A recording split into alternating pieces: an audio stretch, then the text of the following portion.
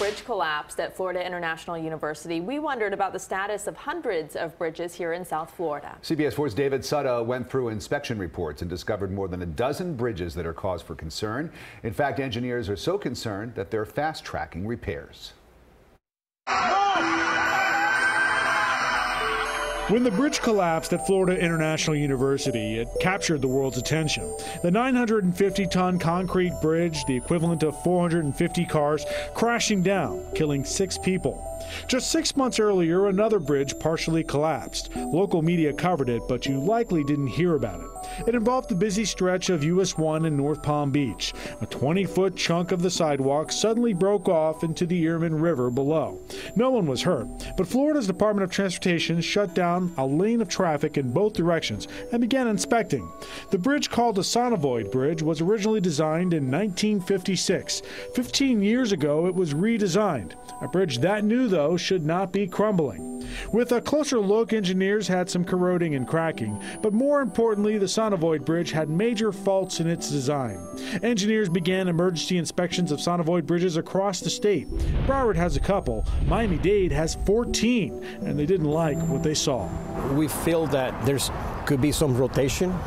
We look at all of them, and some of them have some rotation that we, it's, you cannot see it, but we feel that maybe present an issue. Dennis Fernandez is with Miami Dade's Department of Transportation and Public Works. We decided to any bridge that has an overhang greater than one foot can be a concern. It's not right now, but it could be later on. It may not look like much, but this gap is the issue. The pedestrian sidewalk on these bridges are just hanging over the edge. When they were designed 50 years ago, it may have not been a problem. But with years of no support, the potential for these sidewalks to break off is real. From a very aggressive, corrosive environment that corrosion destroys our structures. Rather than wait to see if the Earman River Bridge collapse was isolated, Miami-Dade and Broward are not taking any chances. Broward is fast-tracking repairs of two bridges this year.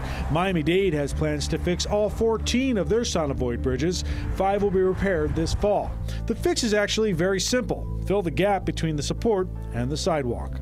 So you're saying this is a good example here? Yes. What we're going to do is uh, extend this cap here, concrete uh, cap, all the way here, and put a bearing between the new cap and and again, this is to support this section that is overhanging.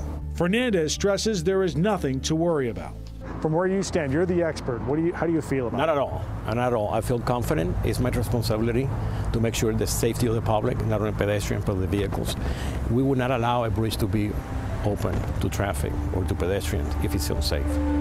We have a list of all the Sonovoid bridges in Miami-Dade and Broward County on our website at cbsmiami.com. We're being told that all the repairs should be done by next year, and engineers again stressing that there is nothing you should be concerned about. In Miami, David Sutta, CBS 4 News, tonight.